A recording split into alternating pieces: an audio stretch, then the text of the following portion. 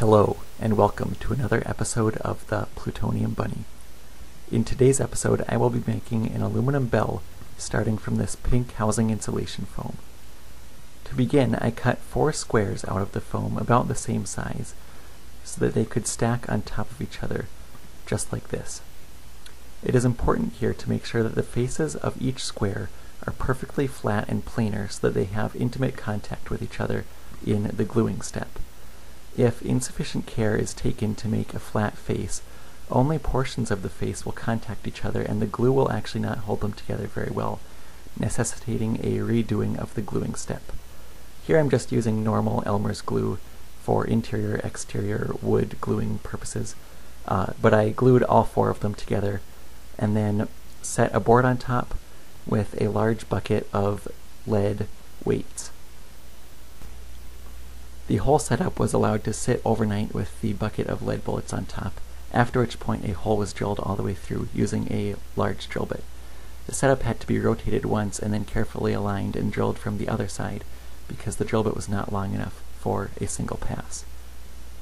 Afterward, a large square billet was obtained, and the excess corners of this were cut off. This will reduce the forces that the billet experiences when it is glued to a dowel rod through the hole in the center and chucked up in the drill press. Because in the next step, the corners will be taken off and it will be made perfectly round using a metal rasp. This was repeated for all the four corners, after which point the billet was placed with the dowel rod in the drill press so that it looked about like this. A large toothed metal rasp was then used to smooth down the edges and just kind of make the entire thing perfectly circular. At this point, I did not start the tapering process because I wanted to get the final diameter nailed down. And this really wasn't very planned out. It was just the diameter at which point it became a perfect circle. Kind of fun to watch the chips fly off. At this point, a good vacuum can be useful the really daunting task in this project came when I had to turn the round billet into an actual bell shape and make it look really aesthetically pleasing. I was initially pretty afraid that my artistic skills were going to be lacking, being a scientist engineer type, after all, but things turned out fine in the end, so I think that's not too much of a concern. The key is here to go really slow on the taking off end of things because it's easier to take off more foam than it is to add more foam. So I kept going at it for a while with the rasp. Never really changed tools because this was just the really rough work and things would get sanded later. Uh, but pink foam went everywhere. After a while I was left with a shape that looked like this. You can see there's kind of a block of foam left on the top. That will get cut off later, but for now it's useful as it provides more support to the piece. So I started sanding this, starting with some rougher sandpaper and working my way up to about 220 grit. It's not really useful to go much finer than that because at that point it'll just clog the sandpaper and not really do much to the foam. And this is all going to be sand cast anyway, so that won't really preserve all that much detail.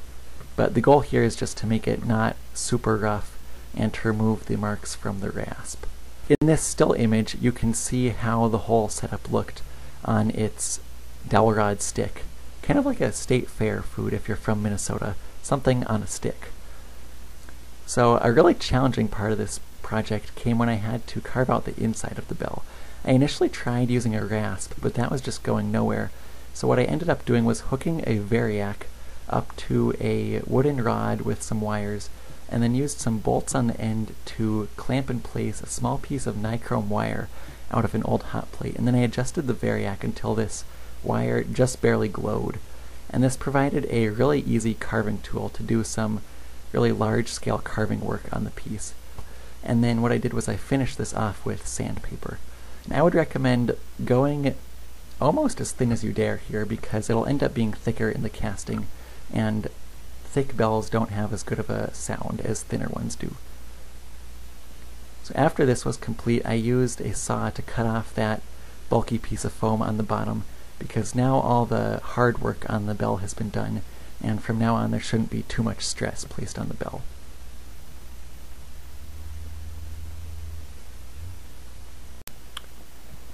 And yep, I goofed. So I was a little bit too excited with the hot wire cutter and totally tore through the wall of this bell. So that's a little bit annoying, but that is what this pink modeling clay is for. So I used some of this clay to fill in both the large defects and the small ones, and just generally make things a little bit of a smoother job on the inside of the bell. The outside was fine with the exception of the places where I tore through. In the end, I was left with a bell that looked like this, and then I used some of this masking tape to just cover the entire outside as well as the inside.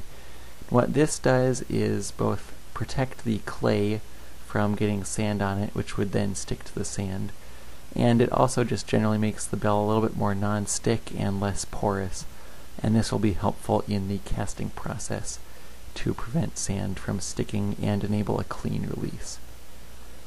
In the end it looked like this, kind of like some sort of weird hat, I would imagine. So I took the finished bell and then began to fill it with sand, first using my trusty talcum powder sock to dust things a little bit to provide more of that non-stick action.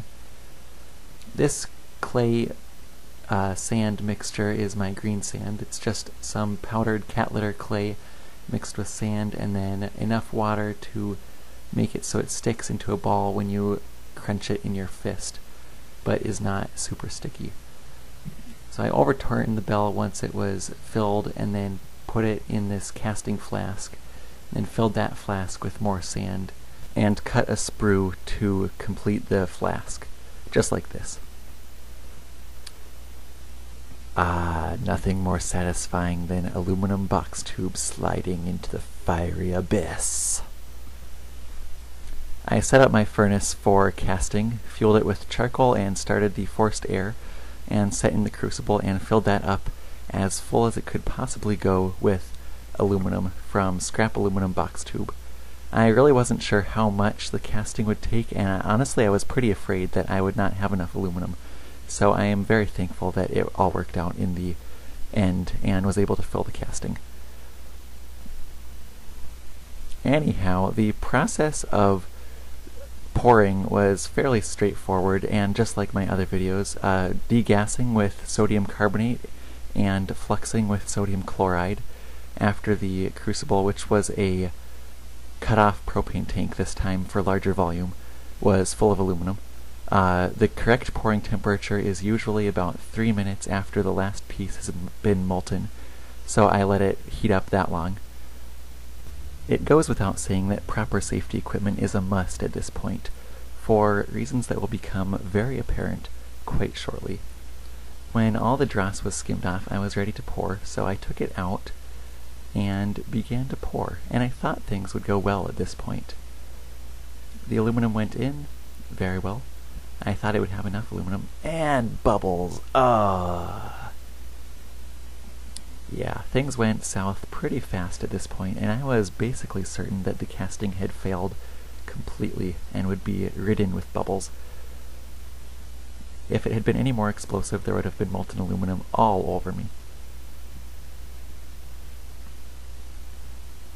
Ah, the look of failure. Anyhow, after things cooled down a little bit, I very cautiously opened the mold, not sure what I would find. To my extreme shock, it looked like the casting had actually worked, at least in some regards. The very base of the bell, the rim, was actually all intact, and that gave me a lot of hope. So I continued to remove the sand, and eventually I was actually, shockingly, left with a bell shape. What? The bell looked like it had really worked pretty well all things considered, and I at this point could not see any bubbles. It was still pretty rough, and I think that's a product of the grain of casting sand I'm using. I should use finer sand. I started the finishing process by cutting off the sprue, and at this point I realized where the bubbles had hidden themselves. Right here we have a nice big bubble occupying most of the sprue. So I think what happened here is that the inner core for the inside of the bell was slightly moist, and that created steam, which made the bubbles. I began the rest of the finishing process by taking off this flashing, and after that I was ready to drill a hole and put in a bolt. And this was really key for the rest of finishing and for keeping things concentric, because I didn't have a fancy lathe, and I'm pretty sure you wouldn't finish a bell on a lathe anyway. So I tightened the bolt really tight so that nothing would come off um, when I chucked this up on the drill press. These are just totally random bolts. I think it was a quarter 20. Um, it's good to use a washer here, especially because this section had a bubble on it, so it's structurally weaker. I started it spinning at one of the lowest RPMs on the drill press and began to use a really rough setting of a metal rasp to take off the largest portions of roughness. This will create marks, but those can be dealt with later. It's key to not press too hard or else you could damage the bell or the drill press. I then used some rough sandpaper to take off the rasp marks, and this worked really well. I was very satisfied with the result. Finer sandpaper was then used to give the bell more of a shine, and here you don't have to worry as much about not pressing hard as long as you're still keeping in mind the drill press safety. And here's the finished product. It turned out really well, all things considered. Very shiny, pretty decent bell shape for having free-handed it, and no bubbles really to be seen. Success.